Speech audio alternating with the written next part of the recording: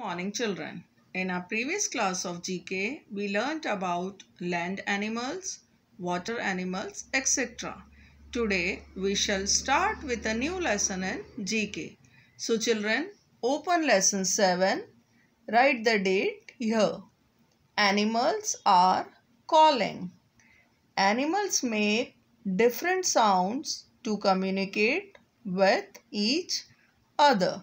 Now children, communicate means to share. Animals communicate by using variety of signs such as sounds and movements. Do you know children? Sounds are the most common form of communication among animals. Now, let's start with a book exercise. Draw lines to match the animals given below with the sounds they make. Children, here you can see there are pictures of animals and here you can see there are sounds of animals given. So, you have to match the animals with the sounds they make. So, let's start. Which animal is this? This is a horse. And what sound does a horse make? A horse neighs. So, children, we shall match it with neigh. Which animal is this?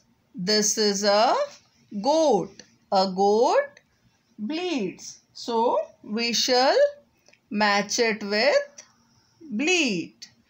Which animal is this? I know children, you all know it. This is a cat. And what sound does a cat make? A cat meows. So here we will match with meow. Now come to the next. Which animal is this? This is a frog. Do you know children? A frog lives on land as well as in water. So a frog croaks. So we shall match it with croak. Which animal is this? This is a dog. A dog barks. So we shall match it with bark. This is a bird. A bird chirps. So we shall match it with chirp. Now children, let's revise it once again. A horse neighs. A goat bleats. A cat meows. A frog croaks. A dog barks.